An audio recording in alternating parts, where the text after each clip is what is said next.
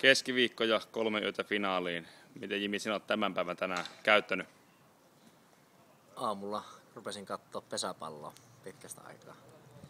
Katsoin tuota Pattiakin vimpelipeliä ja siitä sitten katsoin pikkasen poikien lyöntiratkaisuja.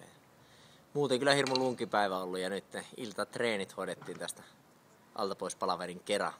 Minkälaisia huomioita se kokenut finaalikävijä teki sitä vastustajan pelistä? No se on lähtökohta, että pojat lyö sitä pomppua ja, ja siinä niin kuin ajatellaan, että siinä niin kuin etukentällä ei ole mitään tekemistä, mutta, mutta kyllä ulko, ulkopelissä me pitää niin kuin koko ajan niin kuin jalkoja liikuttaa, että pysytään niin kuin siinä mukana siinä ottelussa. on hirveän tärkeää kuitenkin, että ei jää passiivisiksi siinä ulkopelissä.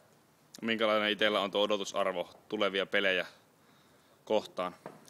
Hirmu tiuk- tiukkoja pelejä tulee ja, ja katsotaan, että kummalla se, se lanttu kestää pää. Ja sitten ne kovat suoritukset räpylässä. Niin se on kiva haaste, loistava haaste. Minkälaista ilmapiiriä olet aistunut joukkueesta nyt tässä viikolla?